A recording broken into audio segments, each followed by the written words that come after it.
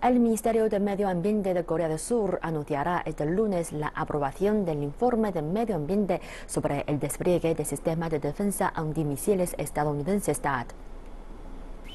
Esto significa que la instalación de los cuatro componentes restantes se reanudará tras una pausa de dos meses y puede que esté lista para finales de esta semana. Seis grupos civiles que se oponen al despliegue han anunciado que extenderán su protesta.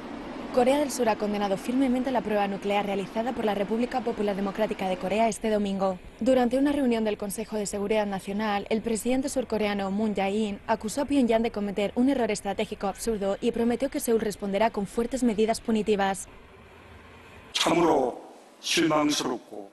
Estamos muy decepcionados y afectados. Las constantes provocaciones de la República Popular Democrática de Corea, incluyendo los lanzamientos de los misiles balísticos intercontinentales y las pruebas nucleares, no solo incrementan las tensiones en la península coreana, sino que también amenazan la paz mundial.